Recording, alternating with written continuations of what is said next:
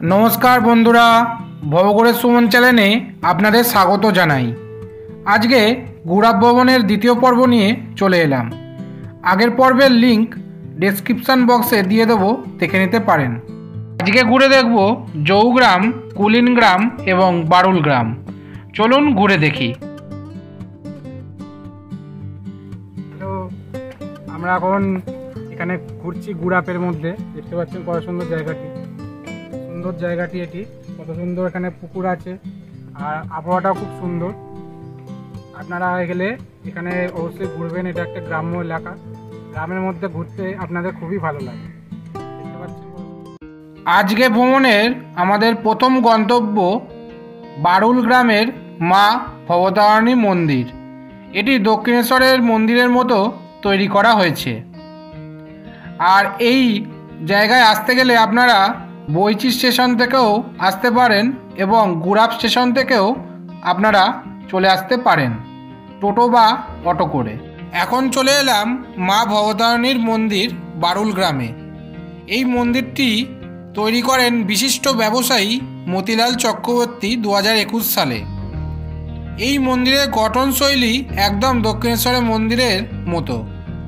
মন্দিরটি খোলা থাকে সকাল আটটা থেকে একটা অবধি এবং দুপুরে তিনটে থেকে রাত নটা অবধি। এই মন্দিরে ভোগের ব্যবস্থাও আছে। আপনারা সকাল সকাল এসে এখানে ভোগের কুপন কেটে নিতে পারেন। মন্দির চত্বরে প্রথমেই একটি নাট মন্দির পড়বে। তার পাশে রাধাকৃষ্ণের মন্দির এবং মাঝখানে মা ভবতারিণীর মেন মন্দির। তার দুই পাশে দুটি শিব মন্দির আছে এবং শনিদেবের মন্দির আছে। এখন দেখছেন সোনার অলঙ্কারে অলঙ্কৃত মা ভবতারিণীর বিগ্রহ। খুবই সুন্দর তার মুখমণ্ডল। এই উইকেন্ডে আপনারা একবার এই বারুল গ্রামে এসে মা ভবতারিণীর মন্দিরে পুজো দিতেই পারেন। আর তার সাথে জৌগ্রাম ও কুলিন গ্রামটাও একদিনের ট্রিপে এক্সপ্লোর করতে পারেন। আমি আশা করছি আপনাদের অবশ্যই এই জায়গাটা ভালো লাগবে। এখন দেখছেন মা ভবতারিণীর মেন মন্দিরের পাশে শিব মন্দির। পাশে বজরংবলী ও নন্দী। খুবই সুন্দর এই শিবের মূর্তি ও বজরংবলী বারুল গ্রামের মা ভবতারিণী মন্দির দেখে চললাম কুলিন গ্রামের গোপাল মন্দিরের উদ্দেশ্যে। পথে পড়ল ভগ্নপ্রায় কিছু মন্দির। এগুলো টেরাকোটা শৈলীর মন্দির ছিল, কিন্তু এখন ভগ্নপ্রায় হয়ে গেছে। কুলিন গ্রাম যেতে যেতে এই পুরো মন্দিরগুলো আপনারা দেখতে দেখতে যেতে পারেন। আর এই মন্দিরগুলো কোনো রকম কোনো দেখভাল না হওয়ার জন্য প্রায় ভগ্ন প্রায় হয়ে গেছে। এখন দেখছেন এইখানকার একটি শিব মন্দির। শিব মন্দিরটি খুবই পুরনো, ভিতরে বাবা মহাদেবের মূর্তি আছে। আর এখন দেখছেন দুটি জোড়া শিবের মন্দির। এই জোড়া শিবের মন্দিরটি টেরাকোটা শৈলীর এবং আটচালা আকৃতির।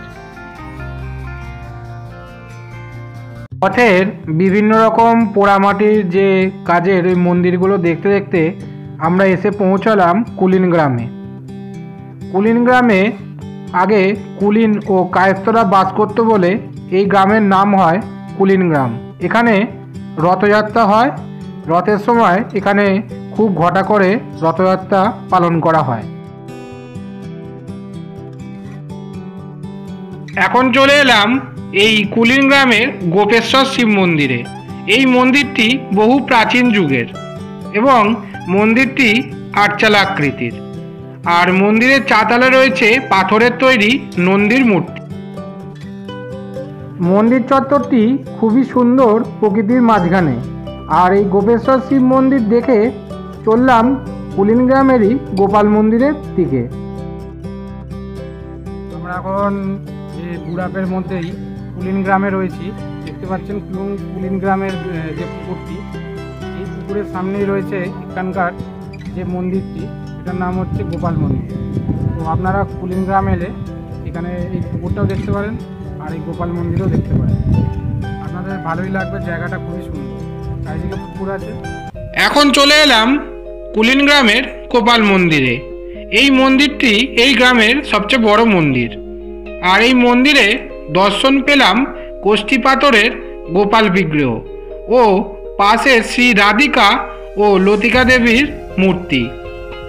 প্রসঙ্গত বলে রাখি, শ্রী চৈতন্য নির্দেশে একাকী গোপালের পাশে পরবর্তীকালে শ্রী রাধিকা ও লতিকা দেবীর মূর্তি প্রতিষ্ঠা করা হয়। আর এই মন্দিরের সামনেই বিশাল গোপাল দিঘি আছে। বিশাল বড় একটি পুকুর। আপনারা কুলিন গ্রামে এলে এই গোপাল মন্দিরে অবশ্যই আসবেন। কারণ এখানকার প্রাকৃতিক দৃশ্য খুবই সুন্দর।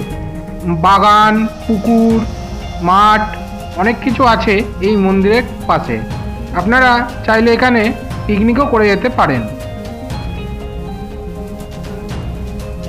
সুন্দর গ্রাম্য প্রাকৃতিক দৃশ্য দেখতে দেখতে চললাম জৌগ্রামের মুক্তকেশী মন্দির ও জলেশ্বর শিব মন্দিরের দিকে। পথে পড়ল এই শিব মন্দিরটি। এটাও মুক্তকেশী সেবা সংঘের একটি মন্দির।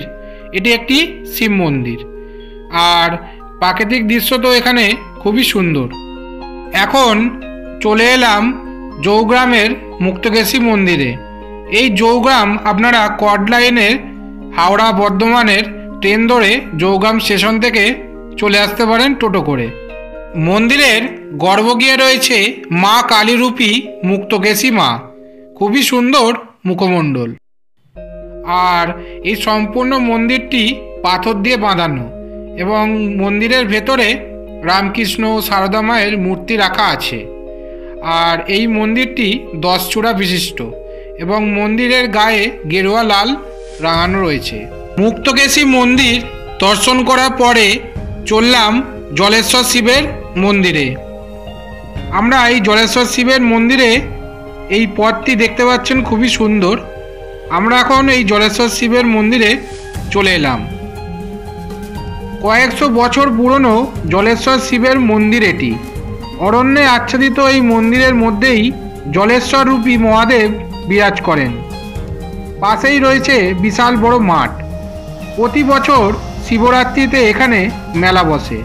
প্রচুর লোকের সমাগম ঘটে। স্থাপত্যে জৈন সংস্কৃতির মিলন ঘটেছে এই মন্দিরে। তেরোশো একষট্টি সালে শিবরাম দত্ত এই মন্দিরটি পুনঃসংস্কার করেছিলেন। আপনারা এই গুড়াপের এইসব গ্রামগুলো ঘুরে দেখলে আপনাদের মন অবশ্যই ভালো হয়ে যাবে, কারণ এখানকার প্রাকৃতিক সৌন্দর্য দেখার মতো। আপনারা অবশ্যই একবার এই গুড়াপের জৌগ্রাম, পারুল ও কুলিন গ্রাম ঘুরে যাবেন। আপনাদের মনের মণিকোটায় এই চিত্রগুলো সবসময়ের জন্য রয়ে যাবে।